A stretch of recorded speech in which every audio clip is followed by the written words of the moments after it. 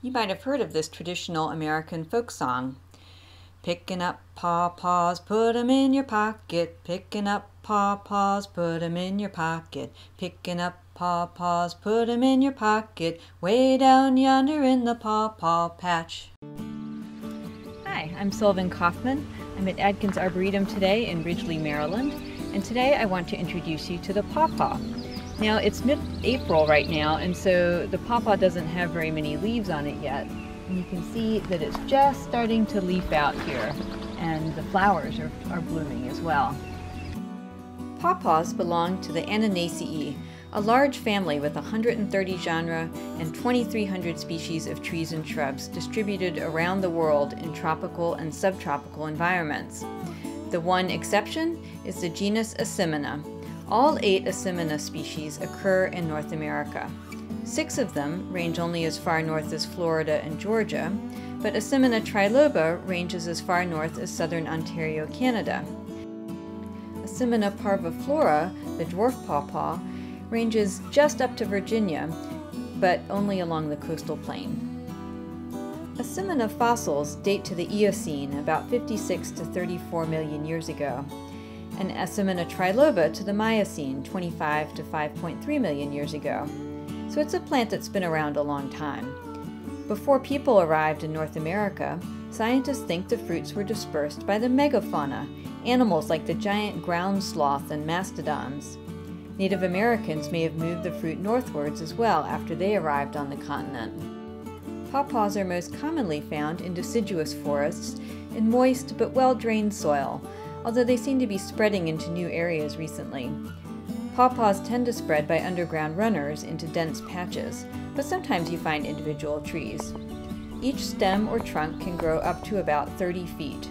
Usually the trunks are pretty skinny, but they can get up to a foot in diameter if they're really happy. The bark on the trunk can be dark brown or light gray and has sparse lenticels, air pores. The bark tends to get kind of warty with age twigs are brown and smooth.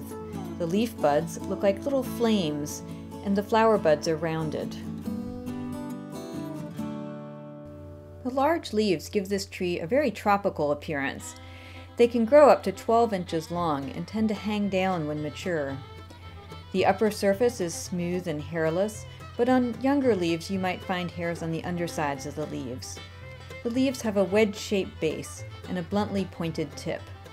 The edges of the leaves are smooth, and they are arranged alternately along the stems. They turn a lovely soft yellow color in fall. Leathery flowers bloom early to mid-spring, and they consist of three green sepals, three outer petals, and three inner petals. The petals are a dark maroon or reddish-brown color, and the flowers are about a half inch across. When the flowers first open, the pistils appear, they're followed many days later by the male flower parts, the stamens. Since the male and female parts of the flower mature at different times, the flowers will not self-pollinate. In fact, there's probably best fruit set when two genetically different plants, or cultivars in an orchard, cross-pollinate. The dark purple color, and an odor described as slightly fetid, or more appealingly like raisins, attracts flies as the primary pollinators.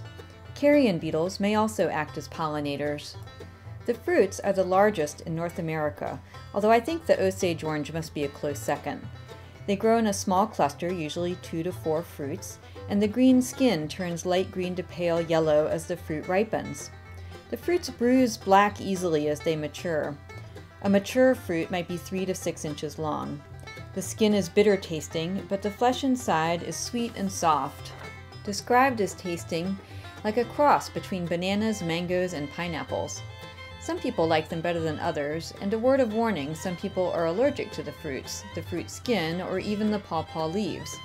Twigs and leaves contain acetogenins, including, including annonacin, wax-like fatty acid derivatives. Acetogenins are mitochondrial poisons that inhibit cellular energy production. The large fruits are eaten by raccoons, squirrels, possums, skunks, deer, bear, and box turtles. Not many animals eat the leaves because of the toxins they contain. Not even deer will eat them. Crush one in your hand and smell the sharp, unpleasant odor. Maybe that's why it's been spreading into new habitats. There are, though, three moth and butterfly species that eat pawpaw leaves. Omphaloceras munroei, the Asimina webworm moth, Dolba hyloeus, the pawpaw sphinx, and the best known, the zebra swallowtail, Eurytides marcellus. The pawpaw sphinx also feeds on some holly species. Zebra swallowtail is of course named for its black and white striped wings. Evolutionary biologists think that the zebra swallowtail co-evolved with Asimina triloba because both are almost the sole representatives of their group in temperate North America.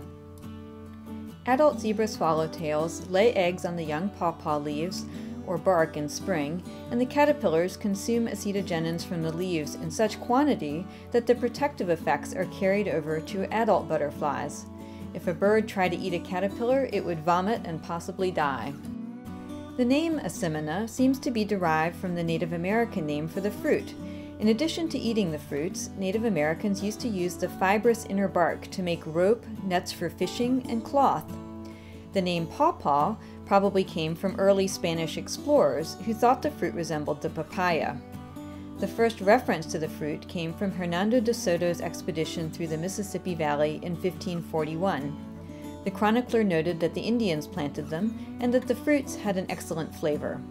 The French called them by the rather rude name Testiculi acini, as, they, as often the fruits hang in pairs. Explorers Lewis and Clark may have been saved by the pawpaw, William Clark wrote in his journal Our party entirely out of provisions, subsisting on pawpaws, we divide the biscuit which amount to nearly one biscuit per man. This, in addition to the pawpaws, is to last us down to the settlements, which is 150 miles.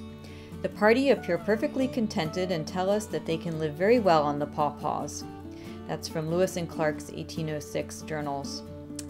George Washington and Thomas Jefferson grew the fruits at their estates in Virginia. For the home landscape, you can find cultivars selected for better tasting fruits, or you can take a chance and grow your own from seed.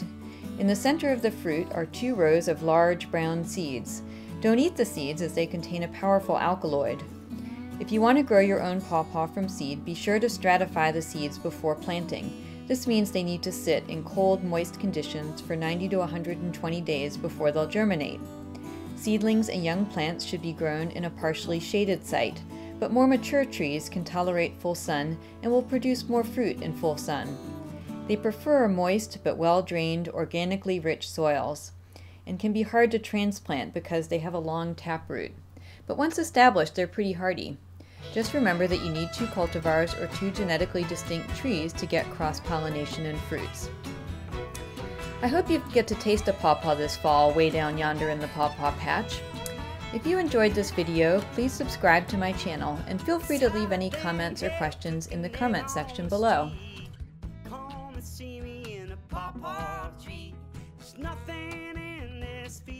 Sweet